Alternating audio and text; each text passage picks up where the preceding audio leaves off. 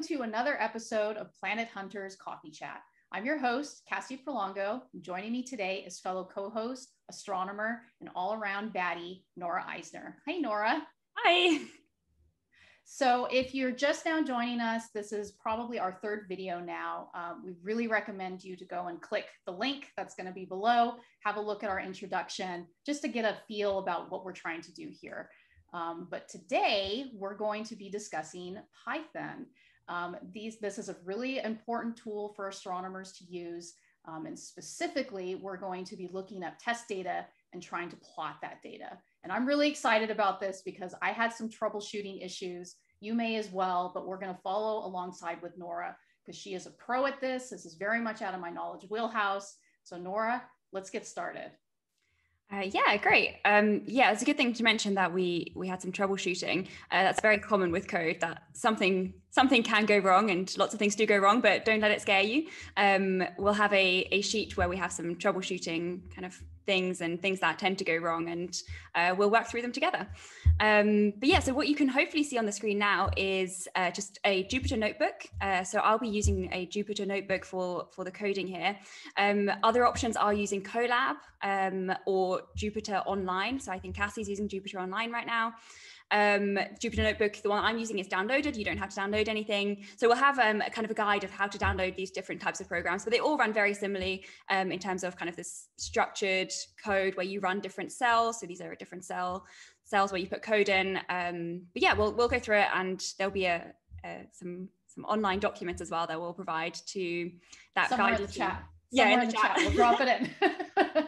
Wherever the chat is. Um, yeah. yeah. So let's let's just start off. So we'll we'll run this first cell. So this is just um, kind of downloading a, a, plotting tool. So this is matplotlib.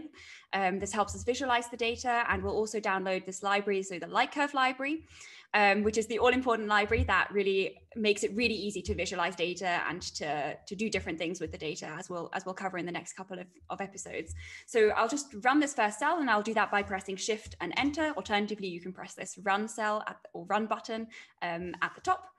Um, and yeah, if you if you get to the end and press enter, it comes up with a new cell, as you can see here. Um, and we'll just start right off by defining a, a target that we want to look at, so a TIC ID. So when I type something and then kind of type equal after it, that's because I've defined a variable. So I'm just saying this TIC ID is now stored as um, this kind of variable, and we'll call it, um, I've copied and pasted this TIC ID already. So if it's in quotation marks, it's a string. So this is just a string of kind of letters and numbers um, that I've defined here as the TIC ID that we want to look at. So we'll just press enter to store that in, in the code itself. Um, now, the next thing that I'm going to do is I'm going to search um, what kind of data is available on this target. Um, so what sectors has TESS observed this target in this particular star, particular star. So um, we'll just use the command LK. So that's for light curve. We're using the Lightkurve library and then we'll do search underscore light curve. Oh, if I can. Sorry, I, that might have been mine. I'm not sure. Uh, so an important thing to note is that all of these notebooks will become available. So you don't have to remember these kind of commands.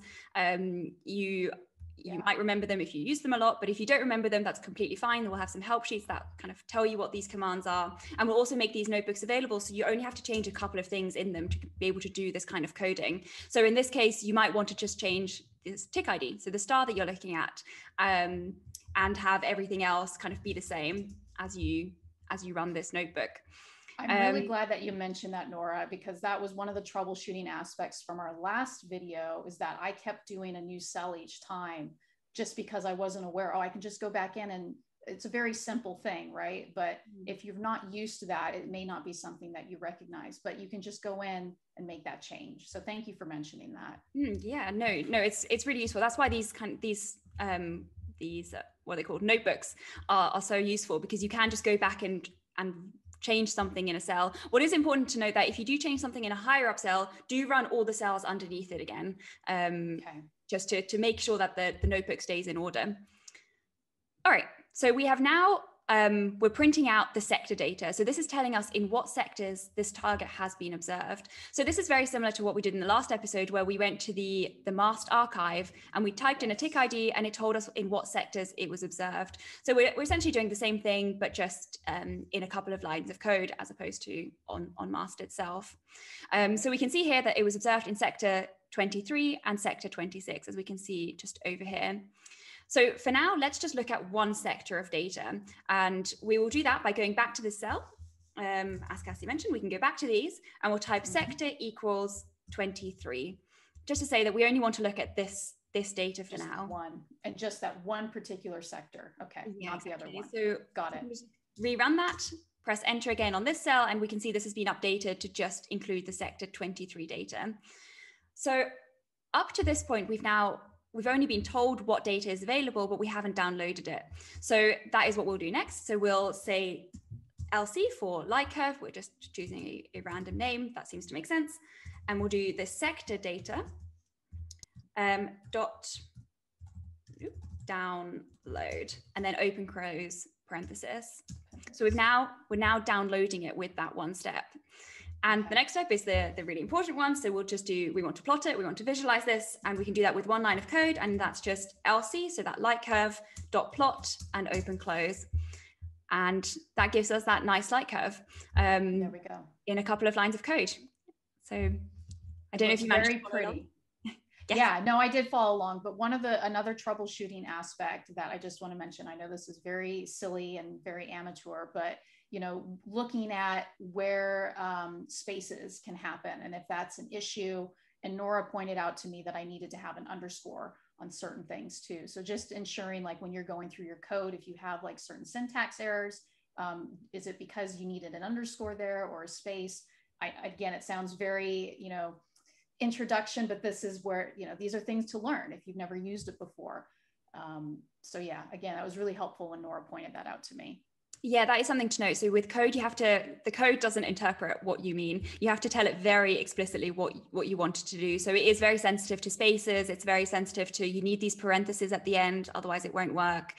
Um, you if you define a variable name, so um, for example, like LC for light curve, you you it needs to be one word. It can't be multiple words. So you can't have a space there and say um, first one.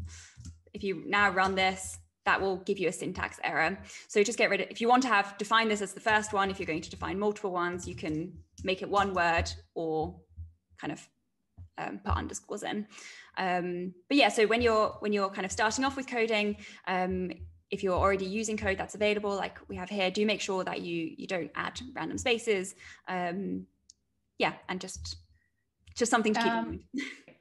um, again, this is all part of the experience. It's all part of the learning. Now that I'm aware of these things, I will know if I get an error. Oh, I didn't do this, or there's an extra space here, or I didn't put the brackets, uh, you know, the parentheses at the end. So anyway, well, thank you. Thanks for kicking this off, Nora. Um, I had a lot of fun going through this, and I appreciate your patience as as we start to learn this process. It's cool. Uh, it can be really scary and overwhelming if you've never done anything like this before, but uh, it's fun. And it's really i can see why this is something that you guys love to do because it's really um, nice to see it in front of you. It's tangible. Yeah it's it's it's a lot of fun. And next time we'll learn how in the next episode we'll learn how to make it look prettier. So that's something yes. to look forward to. I look forward to that. All right. Until next time. Thanks nora. Bye. Bye